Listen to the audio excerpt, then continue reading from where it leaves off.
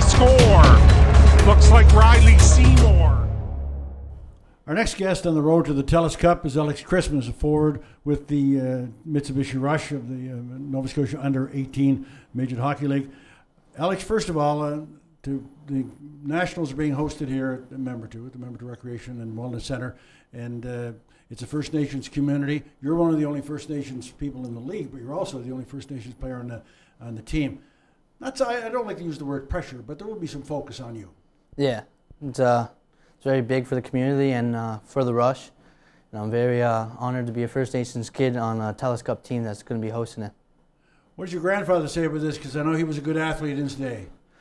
Uh, really haven't talked about him about the TELUS Cup, but I think he'll be uh, pretty happy and proud. And he's a former counselor here in Membertou as well. Okay, you were drafted by the Acadie Bathurst Titan in the Quebec Major Junior Hockey League here, still playing in the Under 18 League. How do you feel about how things are going for you? Pretty good. Uh, had a good season so far. Got drafted to a good team, and uh, hopefully I could uh, finish the season off strong and they could uh, look at me in very positive ways, and I can hopefully crack the lineup next year. Your points are good so far this year, and your goals and your and your and your assists. So that's is that is your strong your strong part of your game, or is it uh, playmaking? Just what is it? Um, I really don't know. It's probably my line mates. I got put on with a good line last few games, and they really helped me a lot with the points and stuff. But if you had to scout yourself, someone saying, uh, "Okay, what do you think of uh, Alex Christmas as a game?" How would you scout yourself?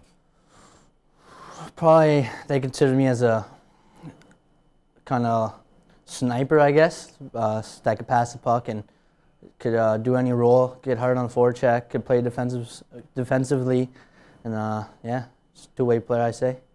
Okay, you're talking to uh, you're you're in the community and you're you're playing this special tournament that's coming up in April. And it's going to be a, a real great event, and uh, this, you're still thinking about it a lot. I know you're trying to think about the hockey you're playing right now, but is it hard not to look ahead at the national championship? Yeah, I'm not really thinking about the TELUS Cup. I'm taking it uh, game by game, practice by practice. But uh, I thought about it. I think about it at nighttime, so that's kind of get kind of makes me nervous when I think about it. But I try not to think about it. Right now, you're in the middle of pack of the Nova Scotia League. So is that uh, that's something I know you're trying to. Everybody tries to improve, but uh, really, that's a good spot to be in right now. Oh yeah, we're a strong team.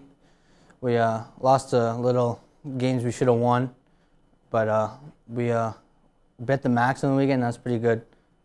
I thought that was excellent the weekend where you split with the Macs, and the week before you you, you took a one from the Steel. Yeah. yeah. Steel's a strong team too. Happy we bet them. Uh, split the weekend with them and split the weekend with the Macs. Pretty, pretty happy with that performance.